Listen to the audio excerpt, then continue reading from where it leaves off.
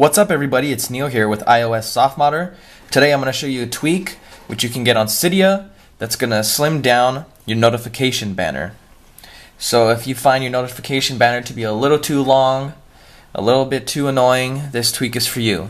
All you need is a jailbroken iOS 7 device and the tweak. So after jailbreaking your device, open Cydia and search for TinyBar. No space, just TinyBar. After that, your device is going to restart and you can configure the tweak under your settings application. You're going to scroll down and you're going to search and select TinyBar.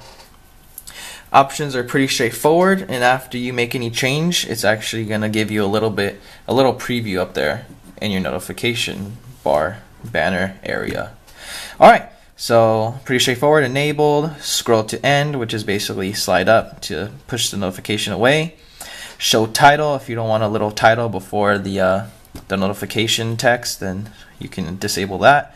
And show icon, you can uh, disable the icon from the app to which you are getting notification from.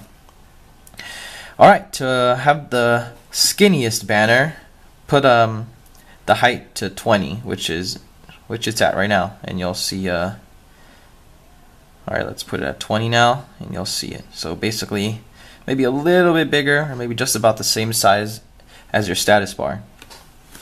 Banner duration, you can basically uh, set how long you want the banner to last in seconds. And for uh, longer banners, you can adjust the, the time again. So if it's a longer one, maybe you want it for 10 seconds instead of 5 like I have it. Finally, there's scroll speed. So as your uh, as the text of your notification scrolls, you can adjust that. So we'll see uh, drastically it's really fast. So if you're a speed reader, then maybe you want this. If you're slower, then just adjust it, put it lower. So as you can see, it scrolls a little bit slower.